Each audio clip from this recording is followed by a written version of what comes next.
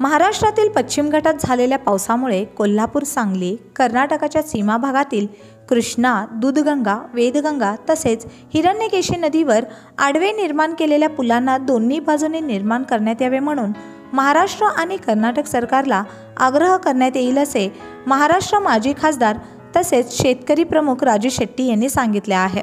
बुधवारी शहरातील कन्नड साहित्य भवन येथे आयोजित पत्रकार परिषदेत म्हणाले की प्रस्तुत वर्षात झालेल्या मुसळधार पावसाने शेतकऱ्यांच्या जमिनीत पाणी थांबून पिके नाश पावली असून याबद्दल केंद्रीय मंत्री नितीन गडकरी यांची भेट घेऊन माहिती देण्यात येईल.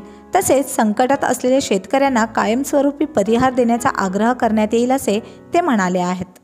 कृष्णा बेसिन में जो छोटी छोटी नदियाँ बहती है वो पश्चिमी घाट वेस्टर्न घाट का जो कलसा मंडूरी घाट है वहाँ से महाबलेश्वर तक कम तकरीबन तीन दो सौ तीन सौ किलोमीटर का जो लंबाई है वहाँ पहाड़ में गिरने वाला सबका सब पानी कृष्णा नदी में आ जाता है। और ये पानी कृष्णा नदी की तरफ़ ले लेके जाने वाले हिरण्य हिरण्यकेशी अ, दूधगंगा वेदगंगा पंचगंगा और वारणा नदियाँ पुणे बेंगलोर नेशनल हाईवे को क्रॉस करती हैं।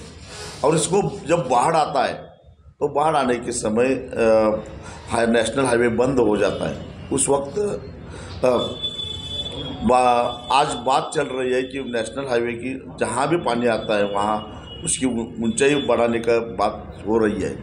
लेकिन हम किसान ये चाहते हैं कि जब बाढ़ आता है तो बाढ़ बाढ़ आते वक्त ये नेशनल हाईवे का जो रोड है, वो बा, बाँध का काम करता है और पानी क्रॉस नहीं होता है। इसलिए हम, हमने जिलाधिकारी को मिलकर उन भेंट करके मांग की कि उसको पंक्चर करना चाहिए, उसको और ज़्यादा ब्लॉक्स बढ़ाने चाहिए ताकि पानी सहजता से पास हो जाए।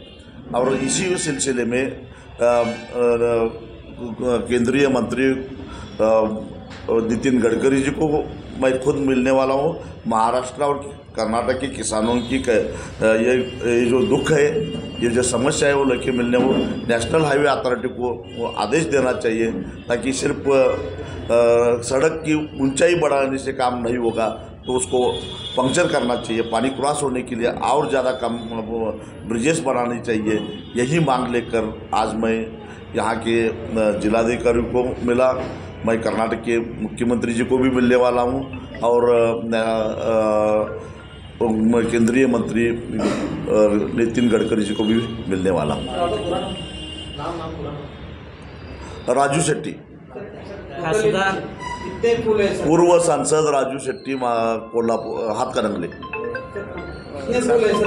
पूरे कर्नाटक और महाराष्ट्र के बीच में सर। महाराष्ट्र में कोल्हापुर ज़िले में छप्पन पुल है और सांगली ज़िले में अड़तालीस, फोर्टी एट है और तक, कर्नाटक में तकरीबन बारह तेरह ब्रिजेस है। इन सबको पंक्चर करने की आवश्यकता है और ये करने की, करना चाहिए क्योंकि जब बाढ़ आती है तो आठ आठ, दस दस दिन तक पानी वहाँ रुकता है और उससे किसानों का बहुत नुकसान होता है। और पहले इससे पहले जब बाढ़ आता तो तो बाढ़ एक या दो दिन में नीचे जाता था और इतना ज़्यादा नुकसान नहीं होता था। आज की तारीख में ज़्यादा नुकसान हो रहा है। तो इसका मतलब विकास विनाश का कारण न हो। ब्रिजेस बढ़ाना सड़क करना ये विकास का, का विकास है। लेकिन ये विकास अगर किसानों का विनाश करेगा तो हम ये बर्दाश्त नहीं करेंगे।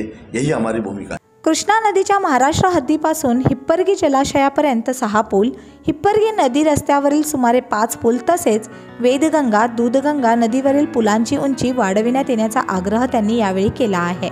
या संदर्भावेळी भारतीय कृषिक समाज अध्यक्ष सिद्धगौडा मोदगी राजेंद्र गड्डेंनवर अभय होनवादीसह अन्य उपस्थित होते. Bureau report can N city news Belgaum.